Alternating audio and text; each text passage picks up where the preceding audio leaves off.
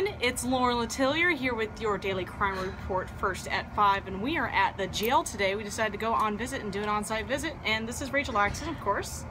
She's going to be our cameraman, yeah? Selfie yeah, cameraman? selfie camera. Okay, all right, so let's see if we can get into the jail. Ooh, they're oh, letting they're us letting in. Us wow, in. This is oh, oh, hey. hey, what's going on? Guys, we got inside. We are inside the Marion we County Jail. Inside. And we're walking around today for the man cave because everybody's gone. We figured that we'd walk around and try to find some of our wonderful jail personnel to, to help do us do what with our crime report today.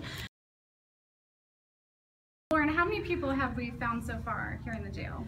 Uh, don't run from us. Don't run from us, please. Would you want to do the crime report with us today? Persons unknown stole a 2009 Silver Mercury Kina, Florida tag EGS A78 mm -hmm. from 15,000 block. 15,753rd block of Southeast 9th, 97th Avenue in South Marion. Thank you, good job! Great. Awesome! Lovely. and just go ahead.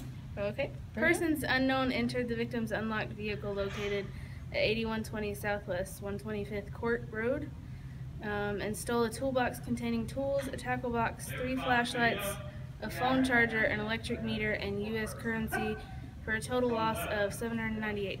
Good job! And you said you're in training? Yes. What's your name? Ryman. Awesome. Go going to read that one. The bottom one? This one right here. Okay.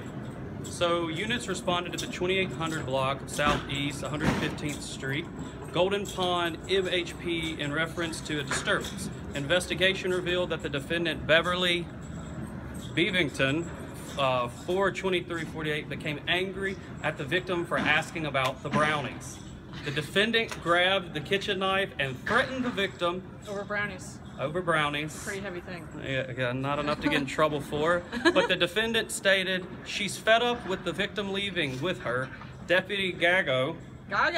Uh, placed her under arrest and transported her to the Marion County Jail. Which we are currently in. We are. The nice Gold Star job. Hotel. Gold Star Hotel. Hey, thanks for joining us today. We really appreciate your help. Appreciate it. Thank you. On to the next one. Let's go. Let's go. Let's go. Let's go. Oh, God. you ready to join me for the crime report here? No, ma'am. He's ready. I wish He's I had lying. He's lying. All right, here you go. Go ahead and read that right here.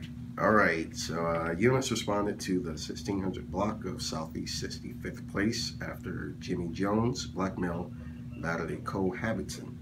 During the investigation, Jones fled on foot from deputies to avoid arrest.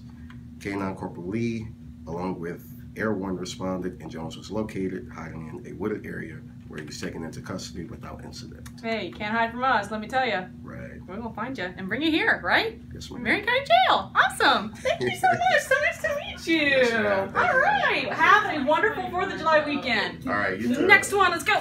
And now we're in classifications, and we're here with Jeannie Wildy.